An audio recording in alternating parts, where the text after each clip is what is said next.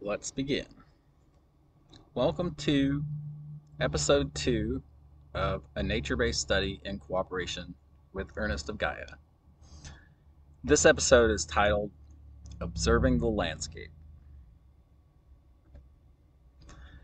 Welcome to the world of DAOs, or at least this is what we think the landscape looks like. While we may not recognize all the layers of organizations, this is our dominant culture image of a manicured landscape with clearly defined edges and pathways. These just don't exist yet in Web3. so, what's the reality?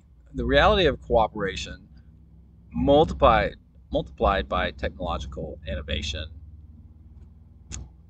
oftentimes looks like a mess. so, like, where where the duck am I? You know, those look like thorns. Um, don't know if I want to go in there. But that's okay, mate. When we step back a bit and observe, we can see that there is structure in the unknown, but we may not be able to see a path forward, despite the fact that we can hear others down the path somewhere else.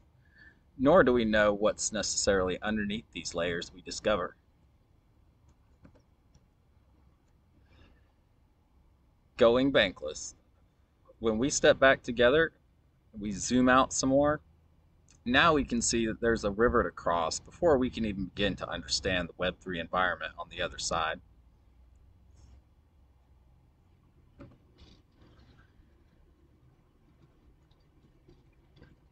So, on this journey, in this episode, and the next one, we're going to begin to cross the governance bridge each guild has its own path of self governance and participation within the DAO.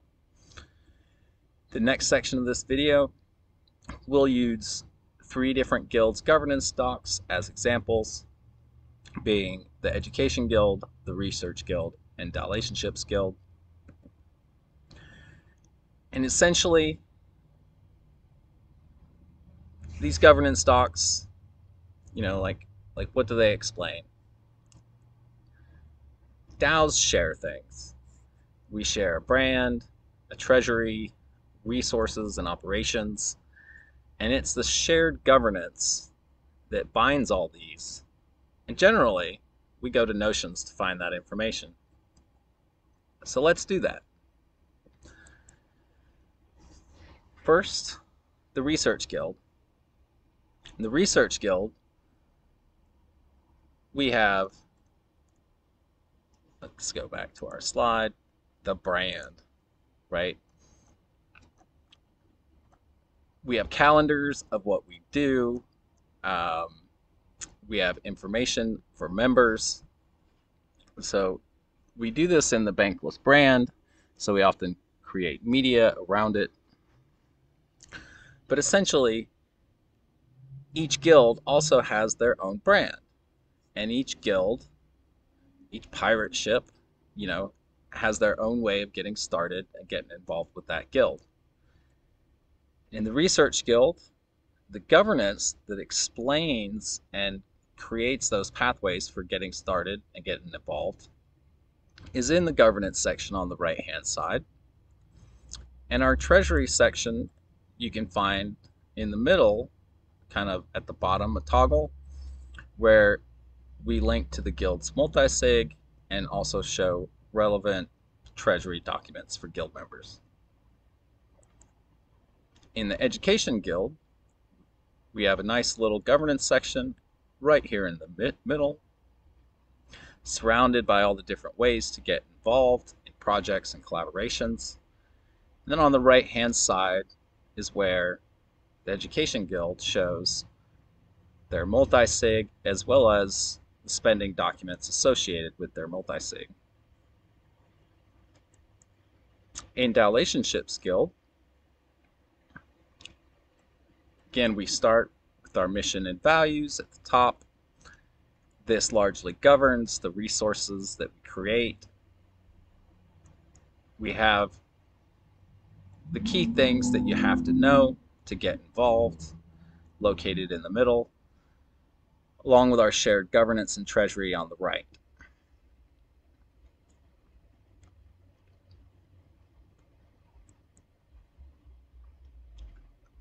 Resources and operations can also be found on these pages.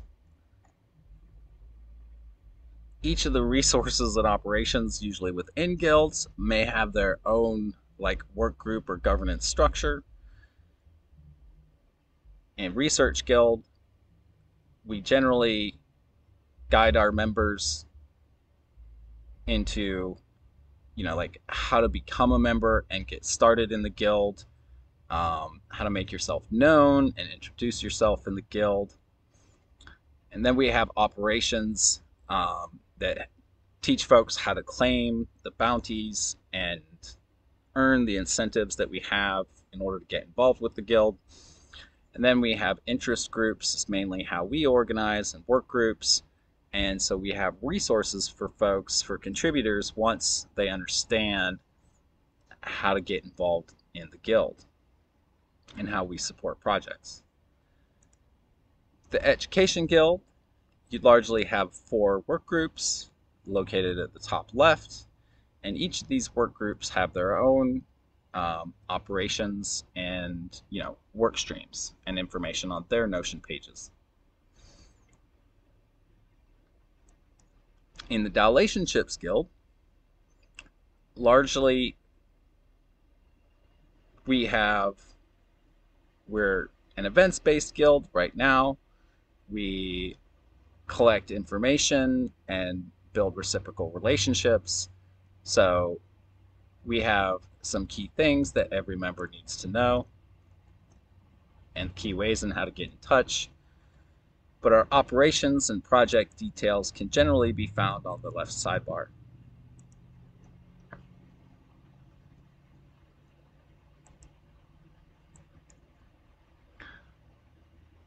That's a lot of pages. so let's review just briefly some of those guilds pages. With the Research Guild, again, our all our documentation, our governance documentation is here on the right. We have a link to the vision and mission of the Research Guild. Research Guild's mission will be to operate as a support node for conducting, guiding, and funding research that aligns with the goals and visions of Bankless DAO. That's our main purpose, our main vision for the Guild. You can see that Notion allows for commenting. So as we do governance reviews, we ask folks to highlight sections that they want to comment on and leave those comments in the sidebar. At our next meeting, we'll go over some of these comments and resolve them in Guild.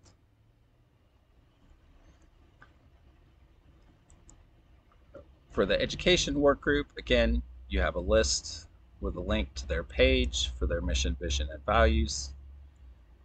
You can see here that there's been essentially this is their draft or proposed mission by the, the guild. Um, the values of the education guild and this helps and informs projects as they get involved. And again, it looks like if you would like to leave a comment or make a suggestion, you can highlight some text, leave a comment on the side.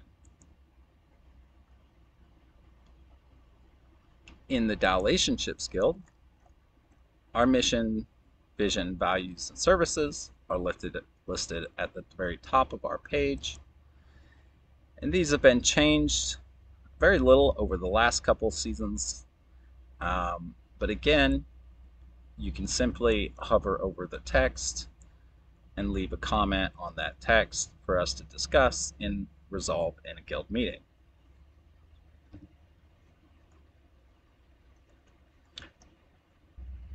Each guild has structures for the roles in their guild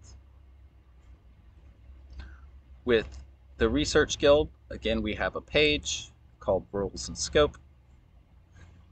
And you can see that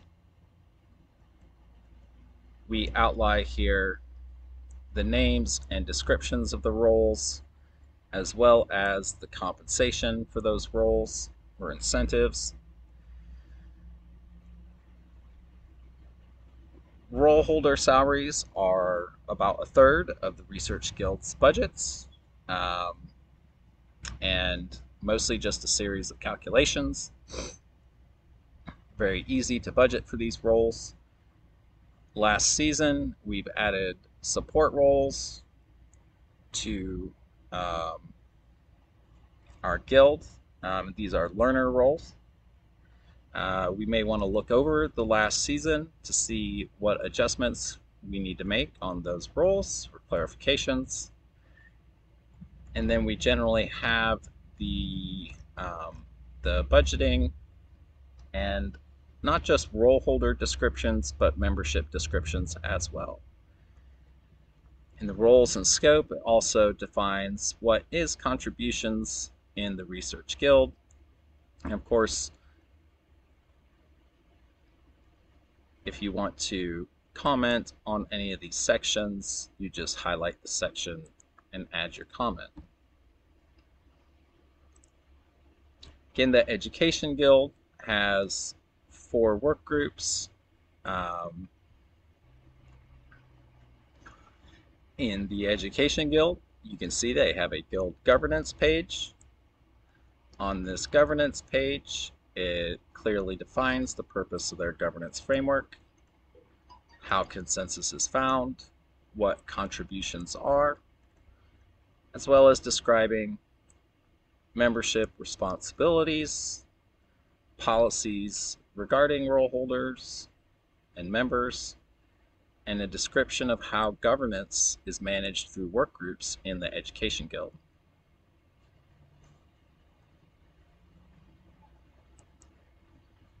In the Dalationships Guild, we have a guild roles page.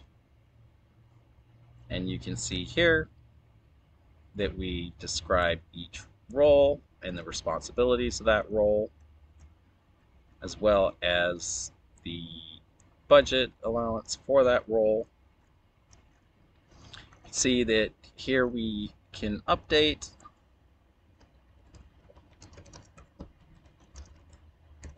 this page with the learner roles.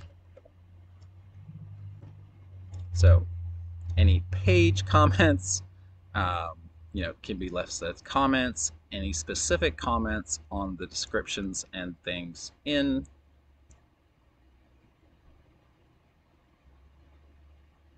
can be highlighted and commented on at the side.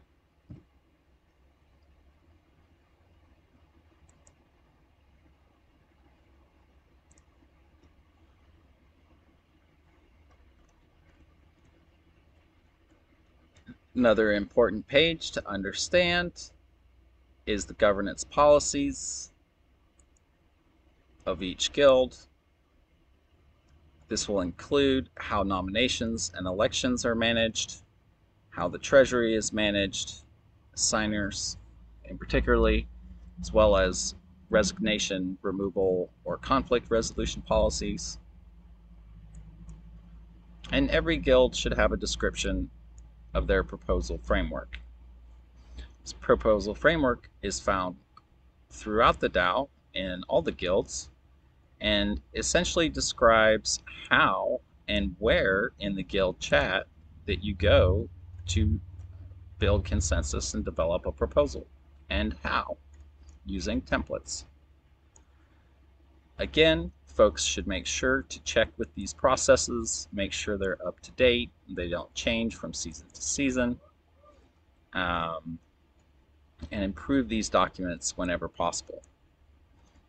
The proposal framework, as I said, is pretty common throughout the DAO. You can see in Education Guild that they have a framework for work groups um, I don't know that they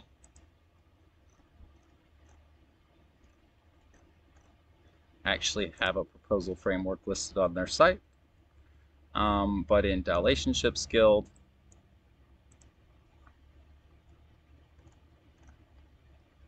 we have a link to the proposal framework. And again, It's pretty much the same thing, except it explains um, how to do it within the Dialationships Discord. We also need to do some updating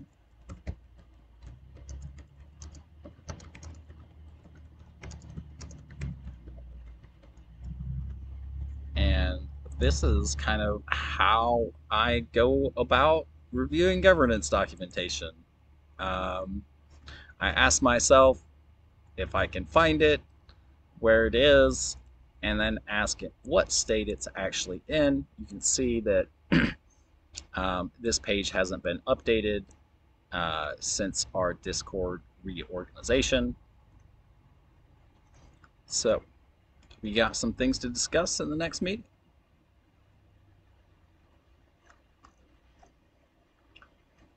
And with that, I will close this little video. I hope it's been helpful. I encourage folks to look and compare different guild governance docs and to read them to see if they jive with the current state of way that that guild operates. And then always you can select text, comment, so that we can bring it up in guild meetings. Thanks for your time. Hope this hasn't been too long and hope you have a great day. Take care.